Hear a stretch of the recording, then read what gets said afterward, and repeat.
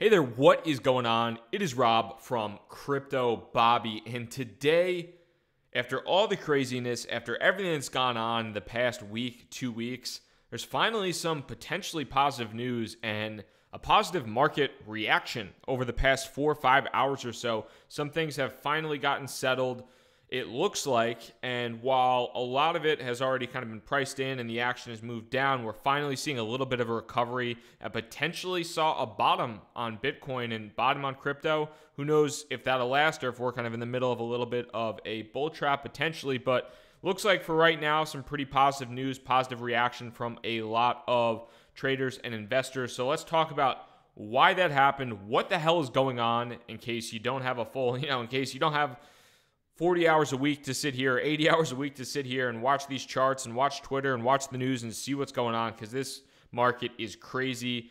It is about as, you know, it has like four different personalities that, that go through every day. So let's talk about that. If you are new to the channel, definitely hit the subscribe button. I do daily recorded videos and I also hop in to the YouTube live maybe two, three, four times a week uh, on Crypto Happy Hour just to talk to you guys, have a couple different drinks, share what I'm thinking about the marketplace and where I think things might potentially be going. But let's hop into it today. So, unless you've been sleeping under a rock the past couple of days, and specifically yesterday, China has been impacting the market in a, let's call it in a negative manner. So I can pull up, we can look at the last day basically. You can see here yesterday was a day in which Bitcoin itself went from about $4,000 to a little about $3,900 all the way down to 3,200.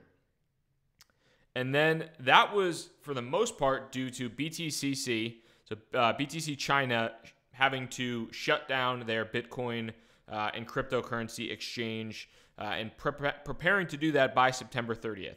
They were the first exchange in China that came out and said, hey, we're going to shut down. And this was following basically two weeks of rumors in regards to what was happening in China. There was rumors in the articles in Bloomberg, there's articles in the Wall Street Journal saying a shutdown is coming, a shutdown is coming. And some people said this is FUD. Some people said, you know, this might be real.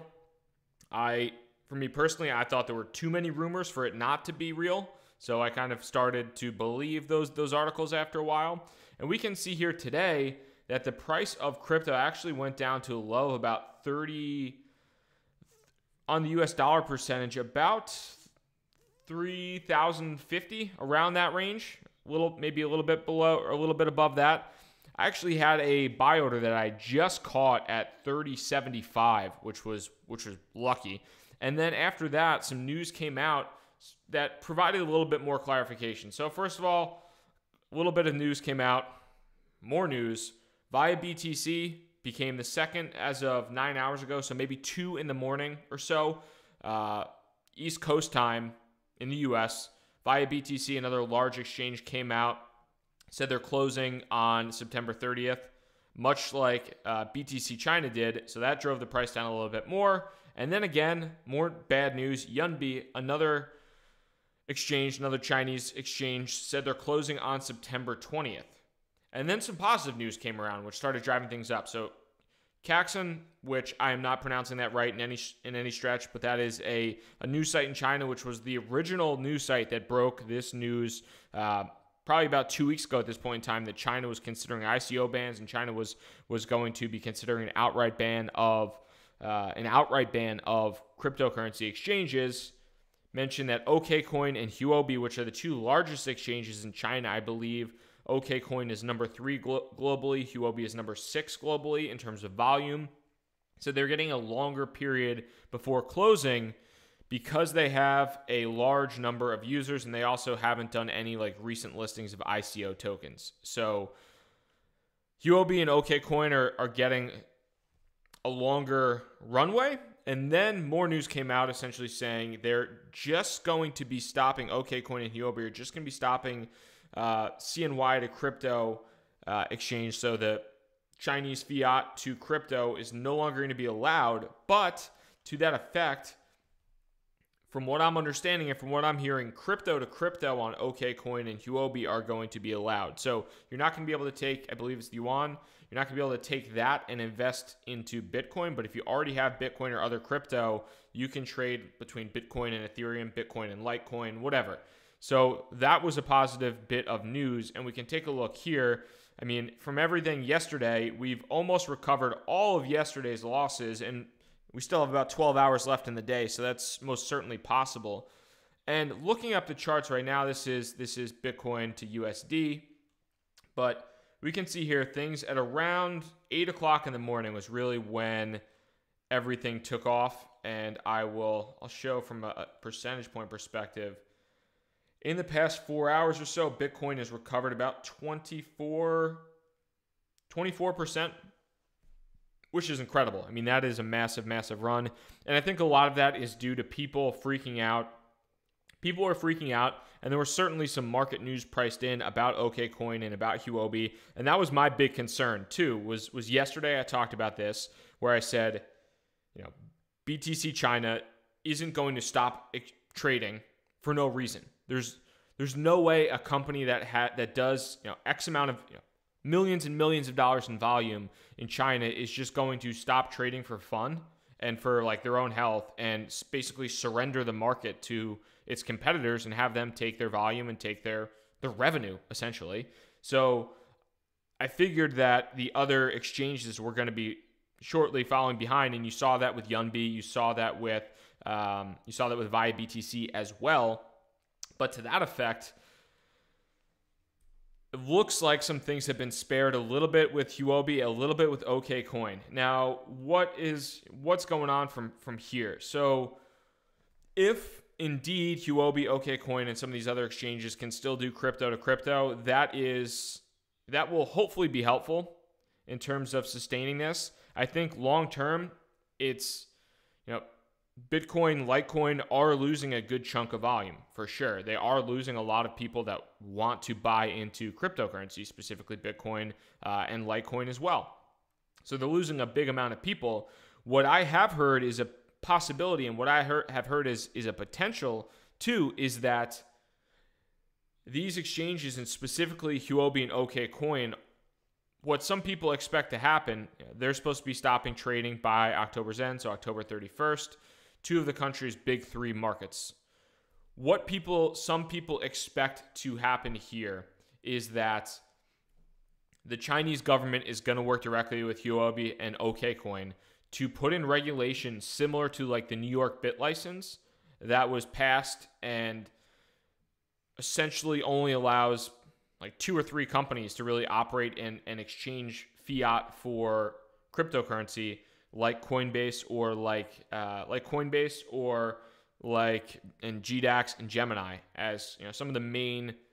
There's very few cryptocurrency exchanges that allow people in the U.S. at least to move United States dollars into Bitcoin or into Litecoin or into Ethereum. There are multiple multiple exchanges where I can trade Bitcoin for you know, for Ethereum or Bitcoin for Dogecoin or whatever you want to do.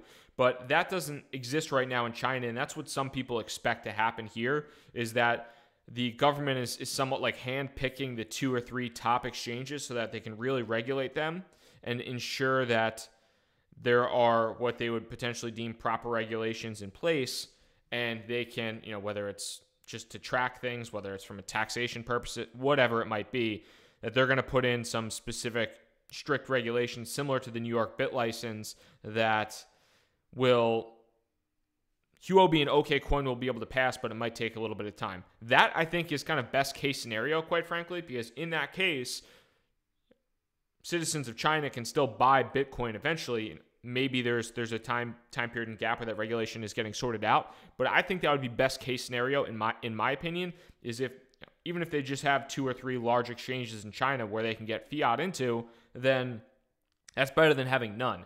You know, if they have none, I do think that's going to present an issue long term. And I know a lot of people talk about everything that's banned in China, you know, whether it's Facebook, whether it's Google, YouTube obviously is part of Google, but but YouTube, uh, Wikipedia, like there's there's a million internet properties, there's a million massive billion dollar companies that are banned in China, but I still don't think it's po- a positive for cryptocurrency if people in China can't take their fiat and exchange it into Bitcoin or into Litecoin or whatever, you know, into Ethereum or Ripple, whatever the hell they want to exchange it into.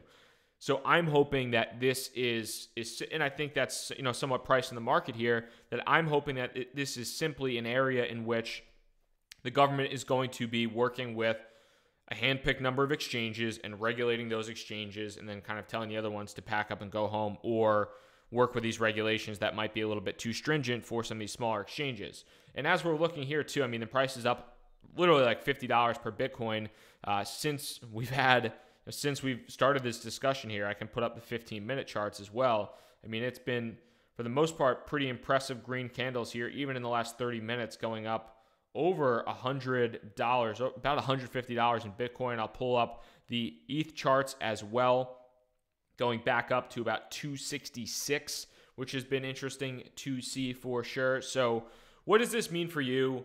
how do you potentially play it? So obviously, the past couple days there was a lot of instability. I'll pull back up Bitcoin here. A lot of instability in the marketplace, and that you know when there's instability in crypto, that tends to shoot the market down. I mean, you can see here there was a lot of this was kind of around the the Chinese ICO garbage that happened, and then we found out China is okay. China's just banning recently ICO'd coins, not that big of a deal, whatever. And then we find out that, oh, wait, China's actually banning all cryptocurrency exchanges and nobody's going to be able to buy crypto with Bitcoin.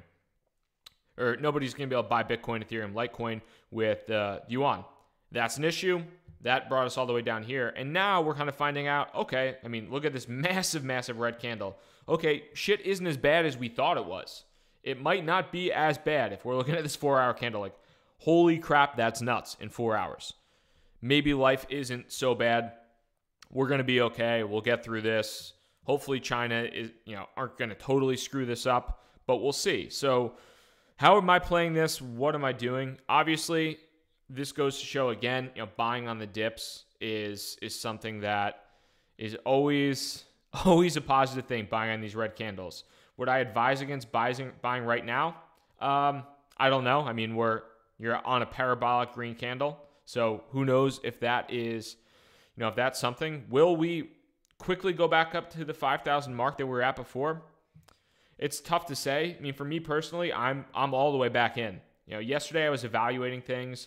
I set a buy order. I set a pretty large buy order um, at 30.75. That actually got picked up barely. And then when I heard the news about, personally, when I heard the news on Twitter that OKCoin and uh, Huobi weren't going to be totally shutting down and they might still enable crypto to crypto and they still have a month to get things figured out. I went back in at 34. I kind of exited initially down here a little bit just because I was unsure about the markets, exited about 3600 and then bought back in at about 34 and now, you know, that's that's actually been a decent trade so far. So, I've been happy about that. That's kind of where where my mind was was was yesterday. I, I took a little bit of took a little bit of profits and and took some losses actually in some crypto that I just wasn't super excited about and I can talk about that here too. So if I pull up my portfolio for you guys, so we'll go to we'll go to my website here. If you're not familiar with it, always feel free to head on over. It's just Crypto Bobby. Basically, it's just the tools I use in my portfolio. But I updated this yesterday, and so we could see. You know, you might have noticed I used to have status in my portfolio, I had uh, District0x DNT or District0x, and then I had OAX, Open, uh, OpenANX Exchange as well.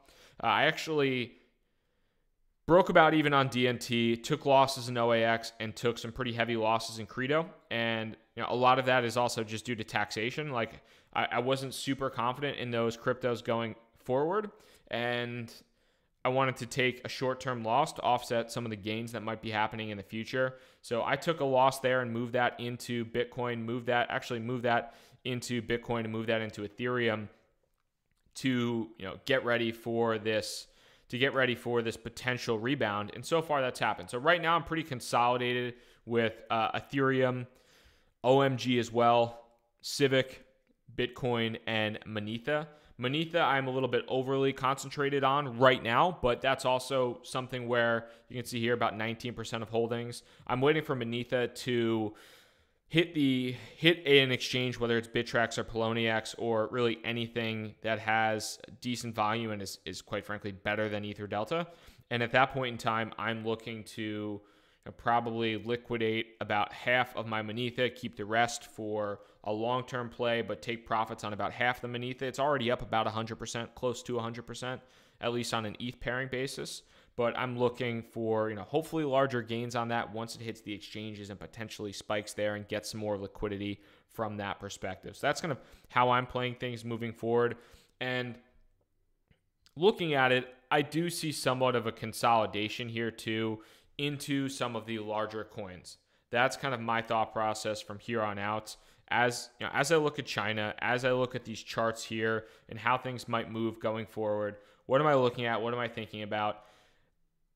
with China basically, you know, China not only removing recently ICO'd coins, I think some governments might actually follow suit with that. Um, hopefully not the U.S. government, but potentially other governments might, where you know there's more stringent requirements on these exchanges, more regulations. They're basically governments going after these exchanges, and it's easier to go after these exchanges if they have these small cryptos trading that may or may not be securities. So I'm trying to, in some cases, look at my portfolio in general and consolidating within some of these longer term plays and potentially, you know, short, you know, some short term ICO moves from here on out, whether it's Monetha, Black Moon ICO I participated in recently, a couple other ICOs I have on my on the horizon for short term, you know, for short term gains, potentially for short term spikes. And usually what I'll try to do with that ICO is is I'll try to take a good amount of profit, move that profit back into Bitcoin, move that profit back into Ethereum, and let a little bit of that profit ride to a specific point where either I'm, I'm very comfortable with it moving forward, or alternatively, I am not as comfortable moving forward, and then I'll just kind of ditch it like I did with status at, at pretty recently. So going forward here, this is kind of how my portfolio is structured. It could certainly change, but I feel pretty confident in it as of right now. Uh, if you have any comments, if you have any questions on it, happy to you know happy to kind of learn a little bit about what you're thinking, where your portfolio is at. But I hope this video was helpful for you today in understanding why the market crashed a little bit and why we're recovering because there just has been a little bit more of potentially clarification. There was just no clarification from China. There was no clarification from these exchanges. And yesterday, BTC China really set the market down. And I think a lot of people knew BTC China isn't just doing this for fun. They don't they're just not just stopping business for fun. Other crypto and other exchanges are going to follow.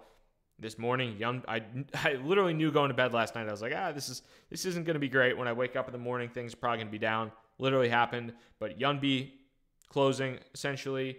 You got ViaBTC closing and then OKCoin and Huobi giving a, a longer period to potentially get within regulations. And hopefully, like I said, hopefully China is just enacting similar types of regulations that allow their citizens to buy Bitcoin with yuan, um, but potentially on just two or three extremely regulated exchanges, which I think would be beneficial for the entire crypto world and still allow Chinese citizens to buy Bitcoin. I'm sure there's going to be ways around it in the future if they really want to. You got VPNs, you have carrier pigeons with USB sticks. I don't know. Whatever the hell you want to do, I'm sure people are smart and resourceful. And if you want to buy Bitcoin, you're probably going to be able to buy Bitcoin and you're probably going to be able to figure it out. But it just makes it tough and it reduces adoption. So hopefully China can you know, figure their stuff out. Outside of that, I hope you found today's video and content helpful. My name is Rob from Crypto Bobby. Hit that subscribe button if you are new here. I would really, really appreciate that. Thank you so much for your time. Let me know if you have any questions or comments below. And again, hit that subscribe button. Rob from Crypto Bobby, wishing you best of luck, whether you're buying, if you're trading, if you're holding, selling, whatever it is you're doing. Good luck. Have a fantastic day or night wherever you're watching this from. Peace.